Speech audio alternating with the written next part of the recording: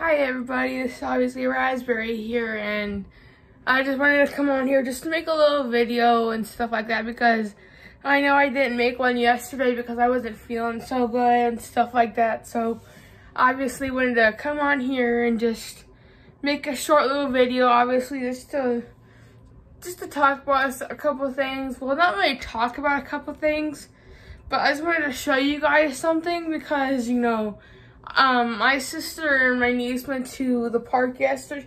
Well, not yesterday, a couple days ago, my sister and my niece had went to the park and they they had seen a My Little Free Library thing there, and so they looked through it obviously to just to see like what what was in it and stuff like that. And they my sister found a couple of things for me.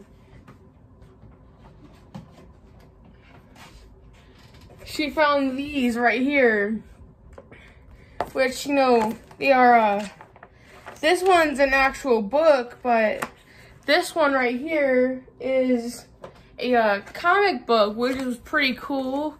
And obviously just stuff like that. And, you know, yeah, it's obviously just, you know, yeah, comic book, which is the, uh, I don't know what that means. I don't know what that says, but you know, a book, couple books that for me to read and stuff like that.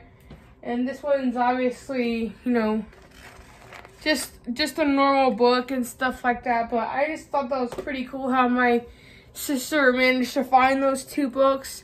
I never seen those two books before or read any of them. And this, the, the comic book one is part three, so I'm gonna have to look up that book and obviously uh, search for the first two parts because that would be pretty cool, cool to have like all three parts and see if there are any more parts to that series. I've never read it before, but uh, this is it right here. I don't know if you guys can actually read it or if it's like backwards or it's like, I don't know what it says. It's like paradigm shift or something like that. So yeah, it's obviously, you know, something about like, obviously shifting into an animal or something like that, which is pretty cool, you know. Yeah, I just wanted to make this little video just to actually have a video up for today at least.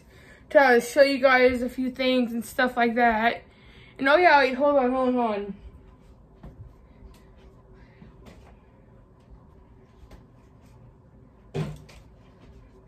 Look at how my basil plant is going. Yeah, I kind of like, tri I trimmed off a couple of dead leaves like right here and right here. But that was because like they weren't getting watered and obviously just just picked off a couple of the dead leaves just so new ones can grow and stuff like that.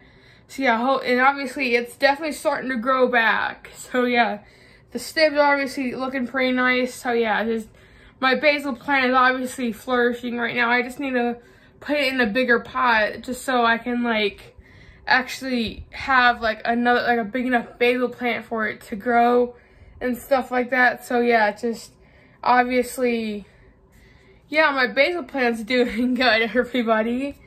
And so yeah, it's just I yeah, look at this big old leaf right here.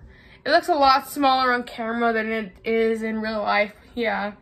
So yeah, I just wanted to make this quick little video just obviously um just to talk, I guess, and show you guys a couple things that my sister got and to show you how good my basil plant is doing, especially after being gone for a week. So yeah, um, yeah, that's all I really gotta say. So yeah, um, see you guys next time. You know, hopefully I won't get sick next time. So yeah, bye guys.